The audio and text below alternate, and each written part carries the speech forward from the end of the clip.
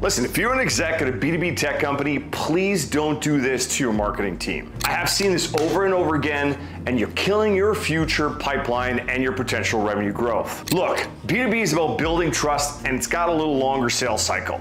Nothing you don't know. So when marketing comes to you, talks about video content, forget the big budget stuff. And here's why. Every single marketing team knows a lot more about social engagement, what works for content, than you do. And it's okay. Unless you know how to send a snap, you're a little out of the game. The online environment has fully changed, and especially around video content and building trust in your audience. And what happened is, is the more video that's more polished actually hurts because everybody knows it's edited. Everybody knows the story's put together exactly how you want it, and it's all approved by communications and internal and external. So when people look at it, they're like, it's perfectly polished and cut like a movie. But everything they see on social media is real, and it's raw, and it's authentic. So now people know exactly what's real and what's not. Plus, polished videos cost a ton of money and waste a ton of time. So be smart, listen to your marketers, follow follow their lead when it comes to video. Hey, if you find value in this content, follow me, comment below,